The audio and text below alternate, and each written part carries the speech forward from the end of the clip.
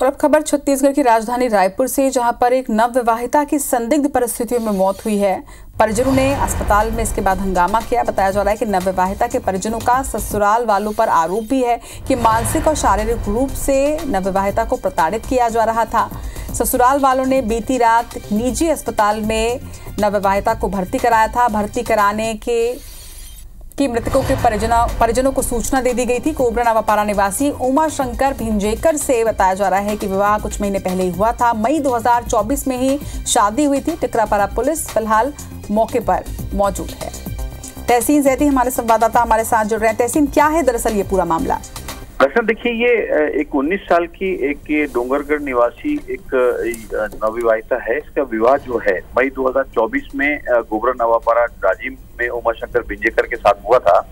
और परिजनों का ये भी आरोप है कि ये शादी के दूसरे दिन से शारीरिक और मानसिक रूप से प्रताड़ित को किया जाता था। इवन ये तक बताया था इन नवविवाहिता ने कि उसके साथ मारपीट की जाती है, पेट में लात मारा जाता है और इस तरीके के उसने शिकायत उसने अपने परिजनों से की थी। उसके बाद जो है, कल रात में जो मृतिका की जिठानी है, उसके द्वारा परिजनों को फ़ोन किया गया कि उसकी अचानक तबीयत खराब हुई है, सीरियस हुई है और रायपुर के पचपड़ी नाका स्थित जो निजी अस्पताल है, वहाँ पे भर्ती कराया गया है। आनंद फानंद में परिजन पहुँचे आधी रात में और वहाँ पे, जब देखा तो सुबह उसकी जो है, डॉक्टर ने उसको मृत घोषित कर दिया अभी हालाँकि मृत्यु के कारण इसमें स्पष्ट नहीं हुआ है।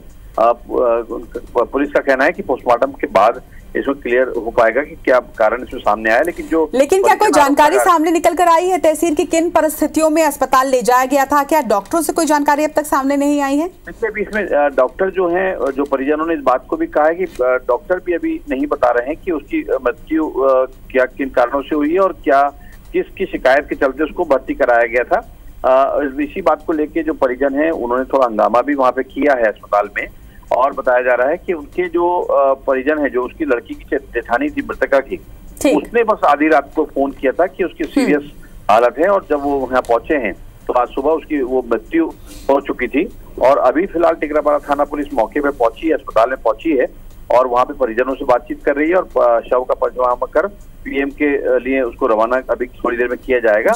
लेकिन ये बड़ी खबर निकल के आई है कि नवविवाहिता की संदिग्ध परिस्थिति में मौत हो गई है और परिजन जो है उसके ससुराल पक्ष में आरोप लगा रहे हैं कि उसकी जो हत्या की गई है। जी। हालाँकि पुलिस जाँच का विषय है संदिग्ध परिस्थिति है लेकिन पूछताछ में ही पूरा खुलासा हो पाएगा इसके साथ ही पोस्टमार्टम रिपोर्ट भी इसमें काफ़ी अहम भूमिका निभाएगा। खबर पर नज़र बनाकर रखेगा आप तहसीन फ़िलहाल तमाम जानकारी के लिए शुक्रिया आपका।